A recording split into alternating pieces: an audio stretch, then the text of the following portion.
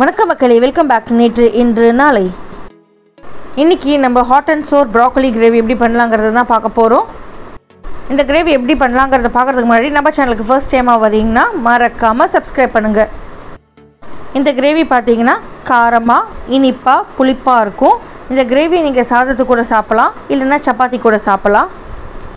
அதாவது fried rice jeera rice அந்த மாதிரிலாம் இருக்கும்ல அது கூட ரொம்பவே நல்லாயிருக்கும் இது ஒரு இண்டோ சைனீஸ் ஸ்டைல் கிரேவி ரெண்டு நல்ல கலர் கொடுக்கக்கூடிய சிவப்பு மிளகாய் அதாவது பேடிகி இல்லைன்னா காஷ்மீரி சிவப்பு மிளகாயை நாலு பெரிய பல்லு பூண்டோட வெந்நீரில் ஊற வச்சிடுங்க. அப்போ தான் நம்ம அரைக்கும் போது நல்லா ஸ்மூத் அண்ட் க்ரீமியாக வரும். அடுத்ததாக ஒரு நாலு பெரிய சைஸ் தக்காளியை நம்ம வேக போட போகிறோம் தக்காளி நல்லா வேகிறதுக்காக மேலே ஒரு எக்ஸ் மாதிரி போட்டுக்கலாம் அடிப்பக்கம் ஒரு எக்ஸ் மாதிரி போட்டுக்கலாம். நல்லா தலை தளம் கொதிக்கிற தண்ணியில் இந்த எக்ஸ் போட்ட தக்காளியை இறக்கி விட்டுடுங்க. பல பலன்னு கொதிக்கும் போது உங்களுக்கு சைடில் தோல்லாம் உறிஞ்சு வரும். உறிஞ்சு வந்துடுதுன்னா உங்களுக்கு வெந்துடுதுன்னு அர்த்தம். அடுத்ததாக ஒரு அரை கிலோ ப்ராக்கோலியை குட்டி குட்டி இதழ்களாக பிரித்து வச்சுக்கலாம். பிரித்த ப்ராக்கோலியை நல்லா ரன்னிங் டேப் வாட்டரில் வாஷ் பண்ணிக்கோங்க. வாஷ் பண்ணிவிட்டு எக்ஸஸ் வாட்டரில் ட்ரைன் பண்ணி ட்ரையாக எடுத்து வச்சுக்கோங்க. இந்த ட்ரையாக இருக்கிற ப்ராக்கோலியில் ஒரு மூணு டீஸ்பூன் கார்ன்ஃப்ளவர் சேர்த்துக்கலாம்.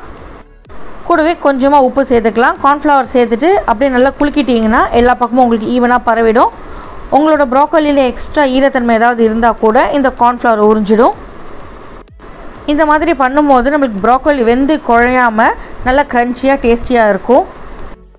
இப்போ இந்த ப்ராக்கோலியை நம்ம ஷாலோ ரோஸ்ட் பண்ணி எடுத்துக்க போகிறோம் ஒரு கடாயில் ரெண்டு மூணு டேபிள் ஸ்பூன் எண்ணெய் சேர்த்துட்டு சூடு பண்ணிக்கோங்க. எண்ணெய் நல்லா சூடானதுக்கு அப்புறமா நம்ம இந்த கார்ன்ஃப்ளவர் போட்டு குலுக்கி வச்சுருக்கிற அந்த ப்ராக்கோலி பீசஸை சேர்த்துட்டு வேக வச்சு எடுத்துக்கலாம். நீங்கள் கடாயை அப்படியே டாஸ் பண்ணிட்டோ இல்லைனா ஒரு கரண்டி வச்சு பரட்டிகிட்டே இருந்தீங்கன்னா உங்களுக்கு நல்லா க்ரன்ச்சியாக குக் ஆகிடும் ப்ராக்கோலி ஈஸியாக குக் ஆகிற வெஜிடபிள் தான். அப்படியே ப்ராக்கலி மேலெலாம் பார்த்தீங்கன்னா ப்ரௌனாக ஒரு லேயர் ஃபார்ம் ஆகும். அந்த மாதிரி இருக்கும்போது தனியாக ஒரு தட்டுக்கு எடுத்து வச்சுடுங்க. நம்ம இந்த காயை குழையிற வரைக்கும் குக் பண்ணோன்னா அதோட நியூட்ரியன்ஸ் எல்லாம் போயிடும். அதனால ஒரு அளவுக்கு வெந்தால் போதும். அடுத்ததாக நம்ம வேக போட்டு எடுத்து வச்சிருந்தோம் இல்லையா அந்த நாலு தக்காளி அதோட தோலெல்லாம் உரிச்சிடுங்க. தோல் உரிச்ச தக்காளியெல்லாம் ஒரு பிளெண்டர் ஜாருக்கு மாற்றிக்கலாம் இப்போ நம்ம கிரேவியோட ஒரு பேஸ் தான் ரெடி பண்ணிகிட்ருக்கோம் இந்த நாலு வேக வச்ச தக்காளி கூட நம்ம வெந்நீரில் ஊற வச்சு ரெடியாக எடுத்து வச்சுருக்கிற அந்த ரெண்டு சிவப்பு மிளகாய் நாலு பல்லு பூண்டை சேர்த்துக்கலாம். ஊற வச்சுருக்கிற அந்த தண்ணியோடவே நீங்கள் சேர்த்துக்கலாம். பேடிகே இல்லைனா காஷ்மீரி சிவப்பு மிளகாய் சேர்த்திங்கன்னா உங்களுக்கு நல்ல கலர் கொடுக்கும். ஒரு டேபிள் ஸ்பூன் சர்க்கரை சேர்த்துக்கோங்க. இது கூடவே ஒரு டேபிள் ஸ்பூன் சோயா சாஸ் ஒரு டேபிள் ஸ்பூன் டொமேட்டோ சாஸ் சேர்த்துக்கலாம் கிரேவிக்கு ஒரு நேச்சுரல் திக்னஸ் கிடைக்கிறதுக்காக ஒரு டேபிள் ஸ்பூன் கார்ன்ஃப்ளவரை நான் இப்போவே சேர்த்துக்கிறேன். இது எல்லாத்தையும் தேவைப்பட்ட தண்ணி கொஞ்சமாக சேர்த்துட்டு நல்லா ஸ்மூத்தாக அரைச்சி எடுத்துக்க போகிறோம் நீங்கள் மிக்ஸி ஜார் திறந்த உடனே உங்களுக்கு நல்ல ஒரு சைனீஸ் ஃப்ளேவர் வர ஆரம்பிச்சிடும். நம்ம ப்ராக்கலி சாட்டை பண்ண அந்த கடாயிலே ஒரு ரெண்டு டேபிள் ஸ்பூன் எண்ணெயை சேர்த்துட்டு சூடு பண்ணிக்கலாம். எண்ணெய் சூடானதுக்கு அப்புறமா ஒரு வெங்காயத்தை பொடி பொடியாக நறுக்கிட்டு சேர்த்துக்கோங்க. வெங்காயம் நல்லா குக் ஆகிற வரைக்கும் சாட்டை பண்ணிக்க போகிறோம் வெங்காயம் சீக்கிரம் குக் ஆகிறதுக்கு மேலே கொஞ்சமாக உப்பு சேர்த்துக்கலாம். உப்பை கொஞ்சம் கவனமாக சேர்த்துக்கோங்க. ஏன்னா நம்ம அந்த ப்ராக்கலிலையும் கொஞ்சம் உப்பு சேர்த்துருக்கோம். நம்ம சேர்த்துருக்கிற இந்த சாசஸ்லேயும் கொஞ்சம் உப்பு இருக்கும். அதனால் இப்போ நீங்கள் உப்பை கொஞ்சம் பார்த்து சேர்த்துக்கோங்க. தேவைப்பட்டால் நீங்கள் கடைசியாக கூட சேர்த்துக்கலாம். வெங்காயம் அப்படியே லைட்டாக வதங்கி லைட் ப்ரௌன் கலர் ஆனதுக்கு அப்புறமா நம்ம அரைச்சோம் இல்லையா அந்த தக்காளி விழுத அதை சேர்த்துக்கலாம்.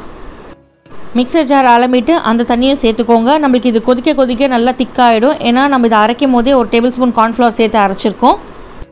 ஒரு ரெண்டு மூணு நிமிஷம் இந்த வெங்காயத்தோடு இந்த கிரேவி நல்லா கொதிக்கட்டும். ஏன்னா நம்ம சாஸோட ரானஸ்லாம் போகணும்.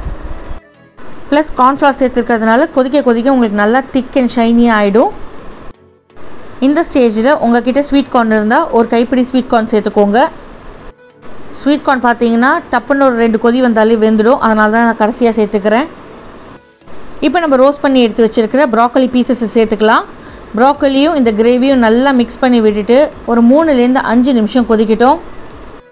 நம்ம ஏற்கனவே ப்ராக்கலி ரோஸ்ட் பண்ணியிருக்கிறதுனால எவ்வளோ கொதிச்சாலும் உங்களுக்கு குழையாது க்ரன்ச்சியாக தான் இருக்கும். கொஞ்சம் கொதிச்சதுக்கு அப்புறமா நீங்கள் அடுப்பை ஆஃப் பண்ணிவிட்டு ஒரு ரெண்டு டேபிள் ஸ்பூன் அளவுக்கு தேன் சேர்த்துக்கோங்க. உங்களுக்கு நல்லாவே ஸ்வீட்டாகவும் சூப்பராக ஷைனியாகவும் இருக்கும். இந்த மாதிரி சைனீஸ் கிரேவியோட தேன் ரொம்பவே நல்லா ஒத்து போகும். தேன் சேர்த்து மிக்ஸ் பண்ணாலே உங்களுக்கு நல்ல ஒரு பளபளான் இருக்கும் பார்க்குறதுக்கு அவ்வளோதான் ரொம்ப ஈஸியான சிம்பிளான நம்மளோட கிரேவி ஆல்மோஸ்ட் ரெடி கடைசியாக இறக்கிட்டு சர்விங் பவுலில் மாற்றிட்டு டோஸ்ட் பண்ணி வச்சுருக்கிற எள்ளை மேலே அப்படியே தூவி விட்டுக்கலாம்.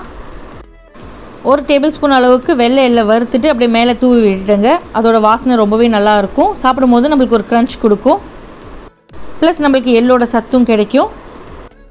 பண்ணி முடிச்சுட்டு சூடாக சர்வ் பண்ணுங்கள் சாப்பிட்றதுக்கு ரொம்பவே நல்லாயிருக்கும் நல்லா கார்லிக்கியாக டேங்கியாக ஸ்வீட்டாக ஸ்பைஸியாக எல்லா ஃப்ளேவரும் இருக்கும் இதில். நம்ம தக்காளி சேர்த்துருக்கிறதுனால டொமேட்டோ சாஸாக சேர்த்துருக்கிறதுனால உங்களுக்கு புளிப்பும் கிடைக்கும். இந்த ரெசிபியை கண்டிப்பாக உங்கள் வீட்டில் ட்ரை பண்ணி பாருங்கள் ட்ரை பண்ணி பார்த்துட்டு எப்படி இருக்குன்னு சொல்லுங்கள் ப்ராக்கலி பார்த்தீங்கன்னா இப்போ சீசனில் இருக்குது ஈஸியாகவே நம்மளுக்கு மார்க்கெட்டில் எல்லாம் கிடைக்கிது. இந்த ரெசிபி உங்களுக்கு பிடிச்சிருக்குன்னு நினைக்கிறேன். நம்ம சேனலுக்கு ஃபர்ஸ்ட் டைமாக வரீங்கன்னா லைக் பண்ணுங்கள் ஷேர் பண்ணுங்கள் மறக்காமல் சப்ஸ்கிரைப் பண்ணுங்கள் இன்னும் ஒரு நல்ல ரெசிபியோடு உங்களை நான் நாளைக்கு சந்திக்கிறேன். Until then take care bye thanks for வாட்சிங்